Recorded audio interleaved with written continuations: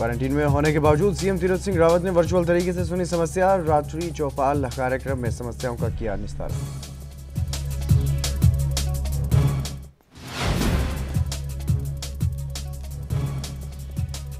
बाल अधिकार संरक्षण आयोग का बड़ा कदम, नशे में लिप्त बच्चों की संवारेंगे ज़िंदगी। पुलिस के साथ मिलकर चलाया जाएगा विशेष अभियान।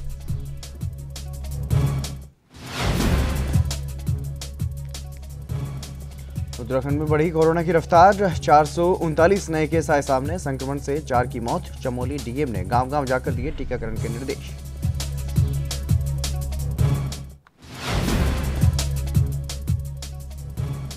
देहरादून में भी कहर बरपा रही है कोरोना महामारी। महज 30 दिन में बना नौवा कंटेनमेंट जोन देहरा खास के नारायण विहार को किया गया सील।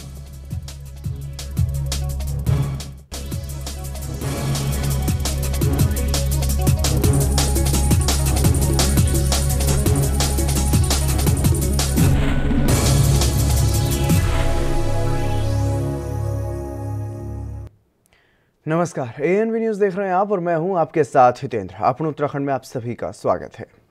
बुलेटिन का आगाज़ करेंगे। उत्तराखंड के मुख्यमंत्री तीरथ सिंह रावत ने चुरित समाधान कार्यक्रम के तहत उत्तरकाशी ज़िले के ग्राम नेताला में आयोजित रात्रि चौपाल में वर्चुअल प्रतिभाग किया और इस वर्चुअल चौपाल में सीएम ने ग्रामीणों की समस्याओं को सुना और मौके पर ही निस्तारण भी किया। बता दें कि इस चौपाल में सीएम को कुल 18 शिकायतें प्राप्त हुई थी, जिनका सीएम ने मौके पर ही निस्तारण कर दिया और साथ ही कोविड 19 में फर्जी बिलों की शिकायत और नमामि गंगे में गड़बड़ियों की शिकायत पर जिलाधिकारी को 10 दिन में जाँच करके रिपोर्ट प्रस्तुत करने के निर्देश दिए गए।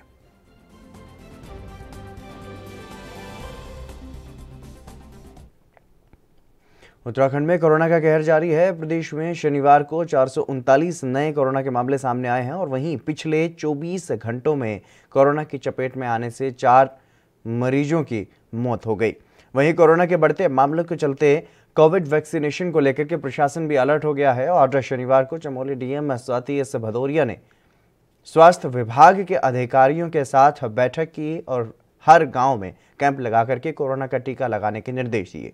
डीएम ने यह कहा है कि ज़िले में 45 साल से अधिक उम्र के जो लोग हैं, अनुमानित पचानवे हज़ार तीन सौ लोग वहाँ पर हैं, जबकि अभी तक पच्चीस हज़ार पाँच सौ पचपन को ही कोरोना का पहला टीका लगा है। डीएम ने ब्लॉकों में तैनात मेडिकल ऑफिसर्स को हर गाँव में कोरोना का टीका लगाने के लिए 20 दिन का रोस्टर तैयार करने के निर्देश दिए हैं।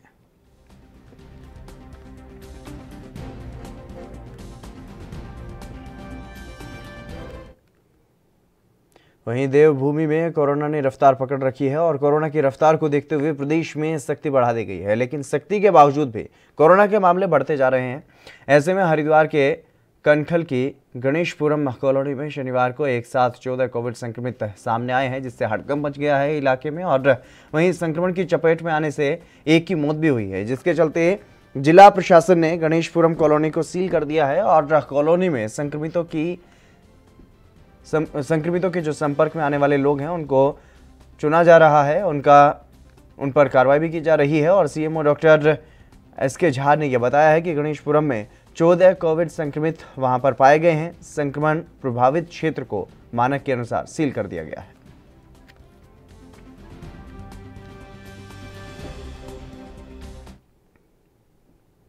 उत्तराखंड के हल्द्वानी में बढ़ते यातायात और जाम को देखते हुए शहर में यातायात लाइटें लगा दी गई हैं, लेकिन अभी तक उन्हें चालू नहीं किया गया है। शहर के 11 चौराहों पर ट्रैफ़िक लाइटें लगाई गई हैं, लेकिन पिछले एक महीने से ट्रैफ़िक लाइटें लगने के बाद भी अब तक उन्हें शुरू नहीं किया गया है। दो करोड़ रुपए खर्च करके यातायात व्यवस्था सुचारू करने के लिए ट्रैफ़िक लाइटें लगाई गई, लेकिन ये ट्रैफ़िक लाइटें शहर में शोपीस बनी हुई नज़र आ रही हैं। वहीं जब इस बारे में एसपी सिटी जगदीश चंद्र से बातचीत की गई तो उन्होंने ये बताया कि उनकी टीम भी कुंभ में है और लोगों को जागरूक अभी किया जा रहा है। जब फोर्स की कुंभ से वापसी होगी, तब ट्रैफ़िक लाइटों को भी शुरू कर दिया जाएगा।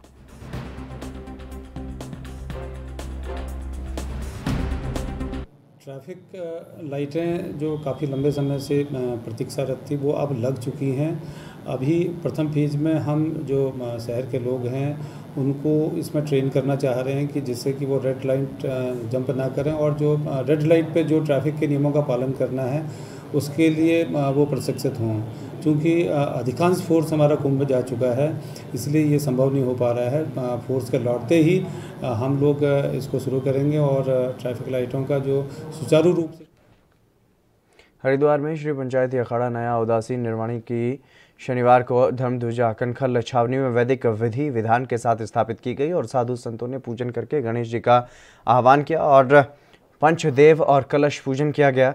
बता दें कि अखाड़े के श्री महंता और रमता पंचों ने अखाड़ों में साधु संतों की मौजूदगी में धर्म ध्वजा को फहराया और इस दौरान हेलीकॉप्टर से पुष्प वर्षा की गई। अखाड़े के अध्यक्ष श्रीमंत श्री महंत भगत राम दास ने यह कहा कि धर्म ध्वजा में एक और पंजा और एक और हनुमान जी स्थापित हैं और सबसे ऊपर मोरों के पंख लगाए गए हैं। श्री महंत मंगलदास ने यह कहा है कि धर्म ध्वजा की स्थापना के साथ अखाड़े में विधि विधान के साथ अब कुंभ की शुरुआत हो गई है। वहीं जगतगुरु शंकराचार्य स्वरूपानंद सरस्वती हरिद्वार में आयोजित कुंभ में पहुँचे, जहाँ पर उनका जोरदार स्वागत किया गया और यहाँ पर शंकराचार्य स्वरूपानंद सरस्वती ने मोदी सरकार पर कई मामलों को लेकर के हमला बोला। उन्होंने ये कहा कि कोविड 19 संक्रमण उन्हीं राज्यों में फैल रहा है, जहाँ पर केंद्र सरकार चाहती है। पश्चिम बंगाल और असम में चुनाव है, वहाँ पर संक्रमण का कोई खतरा नहीं है, लेकिन सनातन धर्म के सबसे बड़े पर्व महाकुंभ पर कोविड का खौफ दिखा करके श्रद्धालुओं को रोका जा रहा है। उन्होंने ये कहा कि सरकार कोविड का खौफ दिखा करके अपनी ज़िम्मेदारी से पीछे नहीं भाग सकती। कोविड का खतरा है तो इसके बचाव के लिए प्रबंध किए जाने चाहिए और रखनखल स्थित शंकराचार्य मठ पहुँचे। जगतगुरु शंकराचार्य ने यह कहा कि महाकुंभ बारह साल बाद आता है और सनातनी इसकी, इसका बेसब्री से इंतज़ार करते हैं। विशेष काल और विशेष स्थान पर कुंभ स्नान का महत्व होता है और इस दृष्टि से देश दुनिया से श्रद्धालु स्नान करने के लिए यहाँ पर पहुँचते हैं। हरिद्वार कुंभ में गंगा तट पर स्नान और दान करने से अनंत फल मिलता है। इसलिए वो खुद भी यहाँ पर आए हैं और उन्होंने ये कहा कि महाकुंभ में कोविड की एसओपी थोप करके श्रद्धालुओं को रोकना और स्नान से वंचित करना अन्याय है। सरकार को श्रद्धालुओं की सेवा का पूरा प्रबंध करना चाहिए और बॉर्डर पर जाँच की सुविधा बढ़ानी चाहिए। श्रद्धालुओं को भी कोविड के प्रति जागरूक होना होगा। जगत गुरु ने यह कहा कि भारत में लोकतंत्र के, भारत में लोकतंत्र है और लोकतंत्र में सरकार जनता की सेवक है, लेकिन मौजूदा केंद्र सरकार सेवक नहीं, अभिभावक बन गई है। किसान कानूनों को लेकर के और राम मंदिर के ट्रस्ट के सदस्यों पर भी उन्होंने तंज कसा है।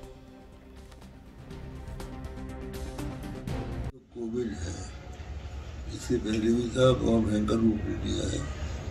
हम लोग ये मानते हैं कि चरक नाम का एक आयुर्वेद का ग्रंथ है।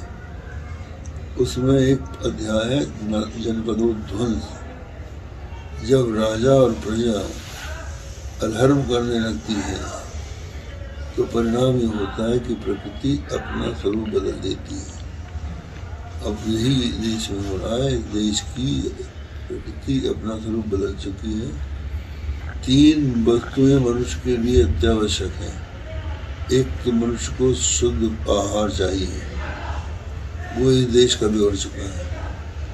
दूसरा, इस देश का जो जल है, वो अशुद्ध हो चुका है। और तीसरा यहाँ का पवन भी अशुद्ध हो चुका है। लोगों के धर्म का उल्लंघन करने का ही परिणाम है। और जब तक ये दूर नहीं होगा, तब तक ये सारी महामारियाँ आती रही ये पर्व है। तो यहाँ पर सरकार को इनकी सेवा का पूरा प्रबंध करना पड़ेगा। इससे वो अपने आप को अपना पीछा नहीं छुड़ा सकते कि लोगों को आप तो उत्साहित करें। उनके आने पर उनका सुविधा उनको प्रदान करनी पड़ेगी और साथ ही साथ इससे हम दो मत ये रखते हैं कि जो लोग उससे पीड़ित हैं, जो जिनको कहते हैं पॉजिटिव जिनको कहते हैं, उनको रोक रोक, रोका जा सकता है। लेकिन आमतौर से मनुष्य अपनी जाँच कराए, ये कोई ज़रूरी नहीं लोगों ने, भारत में, संविधान में लोकतंत्र को स्वीकार किया है। लोकतंत्र में जनता की सत्ता लोक पर है। माने जो वोटर है, उसके हाथ में सत्ता है, सरकार उसकी अनुगामी है, उसका सेवक है। तो हम ये पूछना चाहते हैं कि किसानों ने इसकी मांग कब की थी? कि तुम हमारे लिए कोई कानून बना दो। जो किसानों का सेवक है, वो गार्जियन नहीं बन सकता। चलिए रुकेंगे एक छोटे से ब्रेक के लिए। जल्द हाजिर होंगे।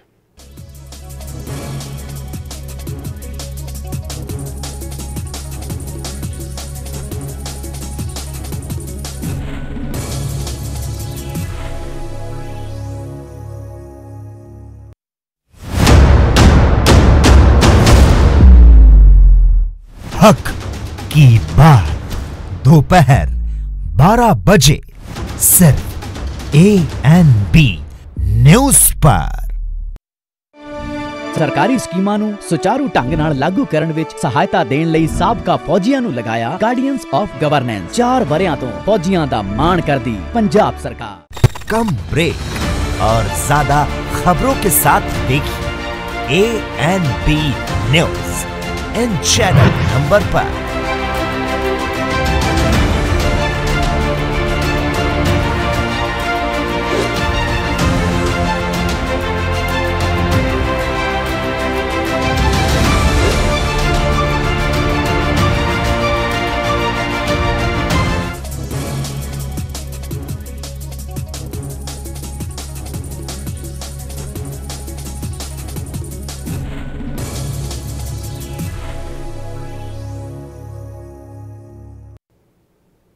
ब्रेक के बाद एक बार फिर से आप सभी का स्वागत है। खबरों में आगे बढ़ेंगे। मुख्यमंत्री तीरथ सिंह रावत ने शनिवार को वीडियो कॉन्फ्रेंसिंग के माध्यम से महिला सशक्तिकरण एवं बाल विकास विभाग की समीक्षा की और इस समीक्षा बैठक में मुख्यमंत्री तीरथ सिंह रावत ने केंद्र और राज्य सरकार की योजनाओं का लाभ लाभार्थियों तक पहुँचाने के लिए विभागीय अधिकारियों को निर्देश दिए।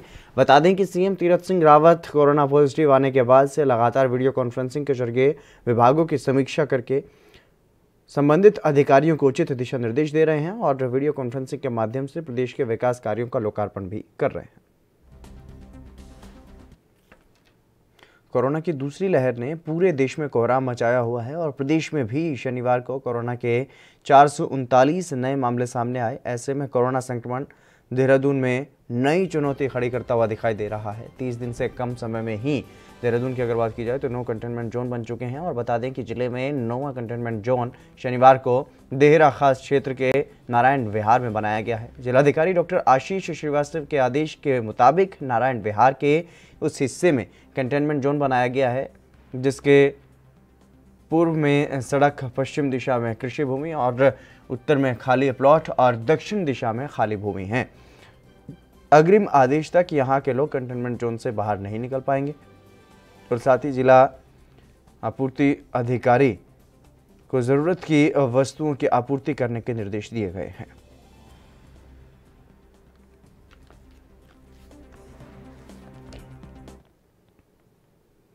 उत्तराखंड में सल्ट विधानसभा सीट पर उपचुनाव होना है, जिसे लेकर के सियासी घमासान जारी है, जहाँ कांग्रेस और बीजेपी के उम्मीदवार लगातार जनता के बीच जा रही हैं और जनता को लुभाने के लिए वादे भी कर रहे हैं। इस बीच बीजेपी के उम्मीदवार महेश जीना के समर्थन में वोट मांगने के लिए कैबिनेट मंत्री धन सिंह रावत भी जनता के बीच पहुँचे और लोगों से महेश जीना को जिताने का आह्वान उन्होंने किया। वहीं महेश जीना ने भी जनता से समर्थन मांगा और वादा किया कि भाई सुरेंद्र जीना के कुछ काम अधूरे रह गए थे, उनके सपनों को पूरा करेंगे और उनके अधूरे कामों को पूरा करने का काम किया जाएगा। और मेरे छोटे भाई सुरेंद्र सिंह जीना जी का अकस्मात निधन हो गया। और उसके बाद मैं भी इसी दुख में लेकिन तभी मुझे भी पता चला कि बहुत से यहाँ पर कार्य मेरे भाई के द्वारा जो किए गए उनमें से कुछ अधूरे रह गए कुछ उन्होंने लोगों से वादे किए थे, वो उनको भी पूरा करना है। तो हिम्मत करके मैं भी आप लोगों के बीच में आज आया हूँ और मेरे को भारतीय जनता पार्टी के शीर्ष नेतृत्व ने भी ये ज़िम्मेदारी सौंपी है कि सुरेंद्र जीना के कामों को पूरा करना है। कामों को पूरा करने के लिए आप सभी का मुझे सहयोग चाहिए और आशीर्वाद चाहिए। उस आशीर्वाद के बिना मैं कोई कार्य नहीं कर सकता। और वो आशीर्वाद मुझे आपका एक वोट जो सत्रह अप्रैल को कमल के निशान के आगे का बटन दबा के भारतीय जनता पार्टी को जिताने में आप मदद करके दे सकते हैं। उसी के लिए मैं आप सबको निवेदन करता हूँ और आपके आशीर्वाद की कामना आज भाषण देने का मौका भी नहीं है। अन्ना घोषणा करने का मौका है। आज हम इस दुखद घड़ी में आ रखे हैं कि दो दो जो है हमारे विधायक भी गया और महेश भाई ने कहा पार्टी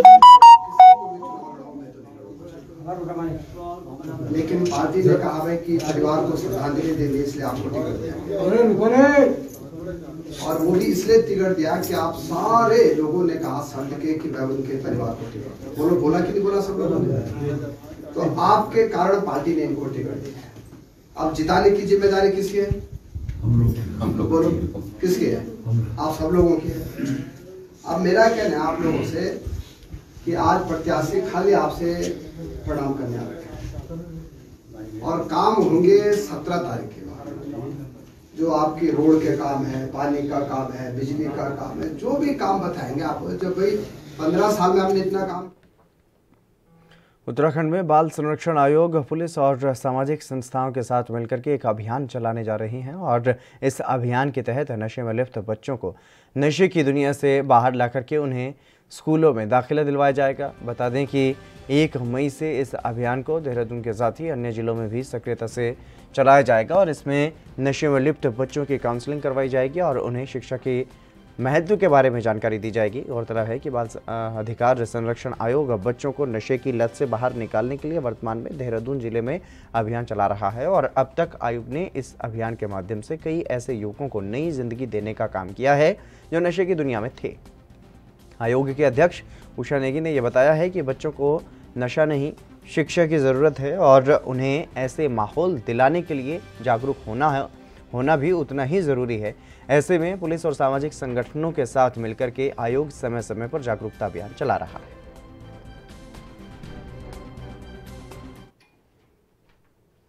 चलिए रुकेंगे एक छोटे से ब्रेक के लिए, जल्द हाजिर होंगे।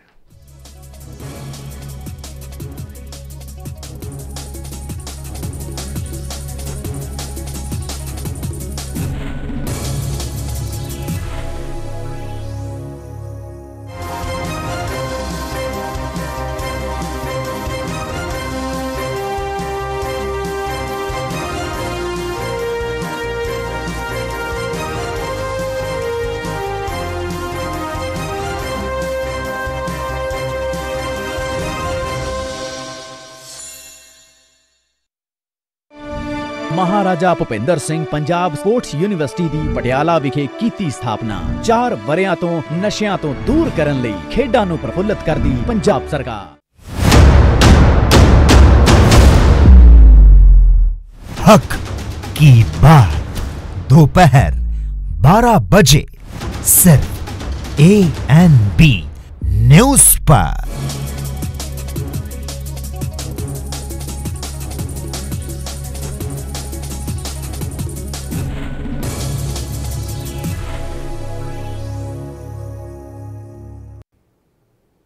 ब्रेक के बाद एक बार फिर से आप सभी का स्वागत है। खबरों में आगे बढ़ेंगे। उत्तराखंड में सल्ट विधानसभा सीट पर उपचुनाव को लेकर के सियासी घमासान वहाँ पर मचा हुआ है, जहाँ कांग्रेस और बीजेपी के उम्मीदवार लगातार जनता के बीच जा रहे हैं। इसी बीच कांग्रेस के उम्मीदवार जनसंपर्क के साथ साथ उन मुद्दों को भी उठा रही हैं, जिन परेशानियों का सामना स्थानीय लोगों को वहाँ पर करना पड़ रहा है।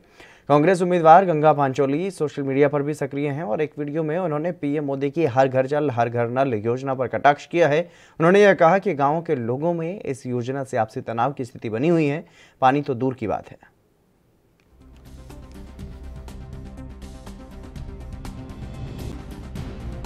काली गाँव में और ये हर घर जल हर घर नल के तहत ये योजना प्रधानमंत्री जी की चालू है यहाँ पे। और बुबू जी बता रहे हैं कि इसमें पानी नहीं आता। ये खाली नल खड़े कर दिए हैं। और पहले तो पहले स्रोत से व्यवस्था होनी चाहिए पानी की। तभी तो नलू में आएगा। अब एक हाफ़ इंच के उसमें दस कनेक्शन। तो दस कनेक्शन कैसे होंगे? तीन तो यहीं पर से यहीं पर है ये कैसे? तीन देखो। वो देखो ये तीन ये है। से यहाँ तक तीन नल खड़े कर दिए। नल, ये अगर एक ही नल भी होता तो ये तीनों तीन परिवार इसमें पानी पी लेते। है ना? तो देखो ये हर घर इसका हर घर मैं जल बना भी चुका हूँ, हर वीडियो भेज चुका हूँ। नल की ये ये स्थिति मैंने भेज दिया, और ये योजना अपना पूर्ण रूप से फेल दिया। है। और इस फेल योजना से हमारे क्षेत्र की जनता में तनाव की स्थिति उत्पन्न है। क्योंकि अगर उनके वहाँ पर आएगा यहाँ पर नहीं आएगा तो झगड़ा होगा। और वहाँ पे भी नहीं आएगा तो झगड़ा होगा। इसलिए ये स्थिति पूर्ण रूप से फेल है। मेरा सरकार को यह चुनौती है कि पहले स्रोत में पानी बढ़ाए और उसके बाद जो है हर तो घर जल हर घर नल की व्यवस्था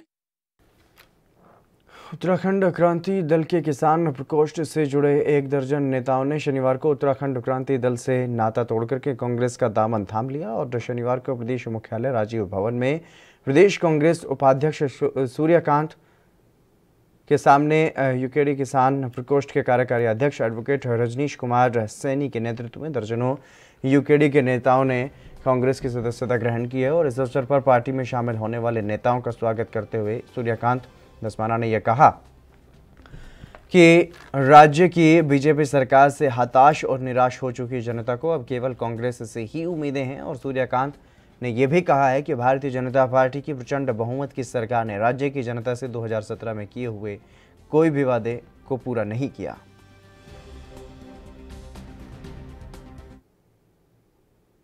हल्द्वानी और आसपास के क्षेत्रों के जंगलों में लगी आग से खतरा और बढ़ गया है और वहीं वन विभाग अब तक आग बुझाने में लाचार साबित हो रहा है और साथ ही किसानों को अपनी कड़ी मेहनत से जो फ़सल उगाई गई है, उसमें से आग लगने का अब डर भी उन्हें सता रहा है। बताया जा रहा है कि हल्द्वानी के हरिपुर जमन सिंह गाँव से सटे जंगलों में भयंकर आग लग गई है और तेज हवा के चलते आग और भी विकराल रूप ले रही है, जिससे गाँव वाले भी अब दहशत में हैं। और गाँव वाले आग को बुझाने के लिए लगातार कोशिशें भी कर रहे हैं तो वहीं आग भी लगातार खतरनाक बनती हुई दिखाई दे रही है। जंगल की आग के चलते लोगों को भारी परेशानियों का सामना करना पड़ रहा है। बावजूद इसके, वन विभाग ने अब तक चुप्पी साध रखी है और वन विभाग के जंगलों में आग पर काबू पाने के सारे दावे जो हैं वो धाराशाही नज़र आ रहे हैं। बहरहाल, अब ये देखना होगा कि कब तक ये आग काबू में आ पाती है और पर्यावरण को कितना नुकसान ये पहुंचाएगी।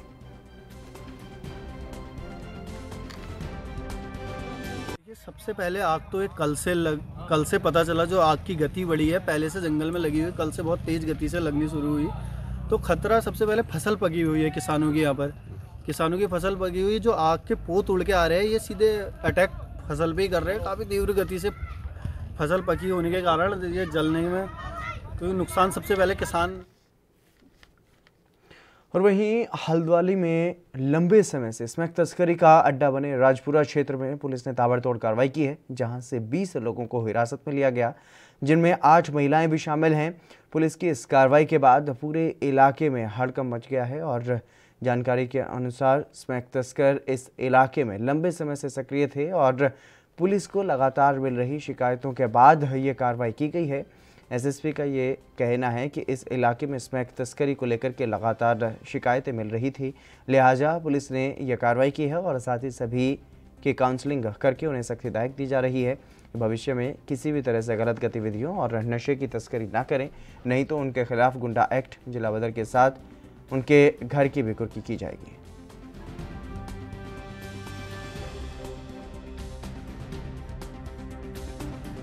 कुछ लोगों की शिकायत आ रही थी गोपनीय सूचना से भी कलेक्ट किया गया था और कुछ लोगों की लोगों ने भी शिकायत करी थी तो उन उनको जो है कोतवाली में आज लाया गया है और उनसे पूछताछ की जा रही है कोशिश की जा रही है कि हम इसमें आगे जो है किसी पॉइंट पर पहुँच सकें और साथ ही साथ इसमें स्मैक तस्करी को लेकर के हम लोग पूछताछ कर रहे हैं। इसमें आगे की कार्रवाई से बाद में आप सभी को अवगत कराया जाएगा।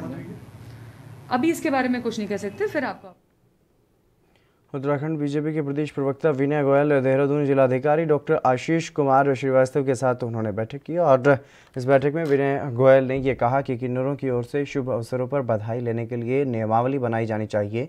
उन्होंने इस बारे में मीटिंग बुलाने का आग्रह किया है, जिस पर जिलाधिकारी ने शीघ्र मीटिंग बुलाने का आश्वासन दिया है और डीएम से वार्ता के बाद बीजेपी प्रदेश प्रवक्ता ने मीडिया से यह कहा कि आज जब किन्नर समाज की स्वीकार्यता बढ़ रही है और वो डॉक्टर, इंजीनियर और अन्य व्यावसायिक पेशे भी अपना रहे हैं राजनीतिक क्षेत्र में अपना योगदान दे रहे हैं।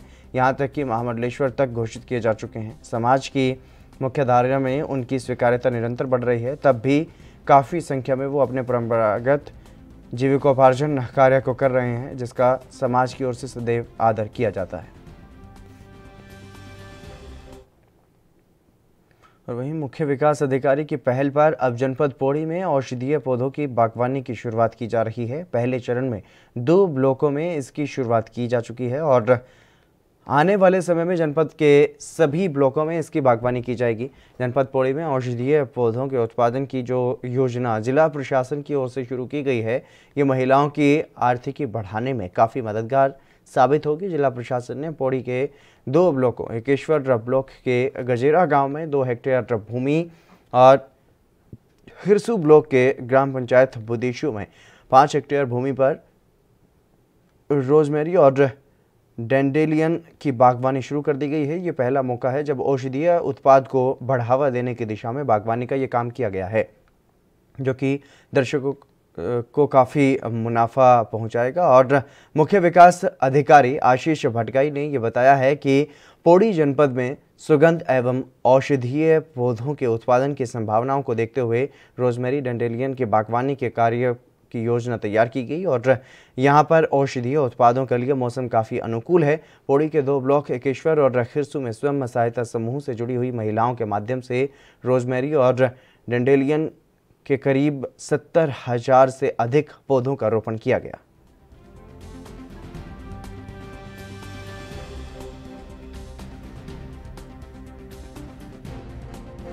इसमें हम लोगों ने मनरेगा के साथ कन्वर्जेंस करके मेडिसिनल एंड एरोमेटिक प्लांट्स का प्लांटेशन किया है, कराया है।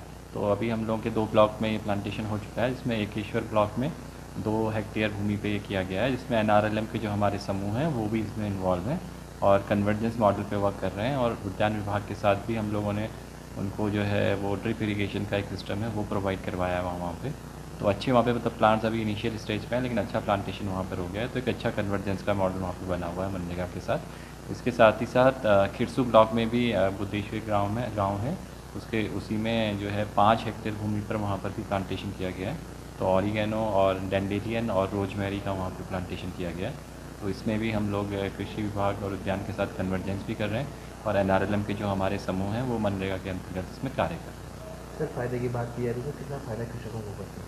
नहीं तो इसका एक पूरा एक अच्छा मॉडल है हमारे पास तो उसमें ये रहता है कि क्योंकि ये मेडिसिनल और एरोमेटिक प्लांट्स होते हैं तो इसमें ट्रांसपोर्टेशन में भी ज़्यादा दिक्कतें नहीं होती हैं और इसको सुखा के बेचना पड़ता है और जो ऐसी संस्थाएँ होती हैं जो जो इसमें अपना बिज़नेस करती हैं तो उनके साथ जो हमारे एस एच हैं, स्वयं सहायता समूह हैं, उन्होंने पहले ही बाई बैक एग्रीमेंट भी कर लिया है इन दोनों समूहों ने। तो मतलब ठीक ठाक उनका अच्छा खासा उनको इससे इनकम हो सकती है और दूसरी बात यह है कि जो ये एरोमेटिक एंड मेडिसिनल प्लांट है तो उनको जंगली जानवर भी नुकसान नहीं पहुँचाते हैं, जो हमारे जंगली सुअर और बंदरों उत्तराखंड समेत हिमालय राज्यों में कुछ वनों की प्रजातियाँ तेज़ी से विलुप्त हो रही हैं और इसलिए तेज़ी से विलुप्त हो रही वनस्पतियों को संरक्षित करने के लिए जीन बैंक अब तैयार किया जा रहा है। भारतीय वन अनुसंधान संस्थान के वैज्ञानिकों की टीमें national bureau of plant genetic resources की मदद से जीन बैंक तैयार करने में जुट गई हैं। पहले चरण में उत्तराखंड के जंगलों में पाई जाने वाली 250 प्रकार की वनस्पतियों की 70 प्रजातियों के जीन बैंक तैयार किए जा चुके हैं और भारतीय अनुसंधान संस्थान के वरिष्ठ वनस्पति विज्ञानी डॉक्टर एच एस अग्रवाल के मुताबिक हिमालयी राज्यों में कई वनस्पतियाँ तेज़ी से विलुप्त हो रही हैं। अगर इन वनस्पतियों को संरक्षित करने के लिए जीन बैंक अब तैयार किया जा रहा है और सत्तर वनस्पतियों का जीन बैंक तैयार कर लिया गया है, जबकि 250 से अधिक वनस्पतियों का जीन बैंक तैयार किया जाना बाकी है। कई वनस्पतियाँ पर्यावरण में आए बदलाव के चलते विलुप्त हो रही हैं। चलिए, बुलेटिन में बस इतना ही। आप बने रहिए एएनबी न्यूज़ के साथ।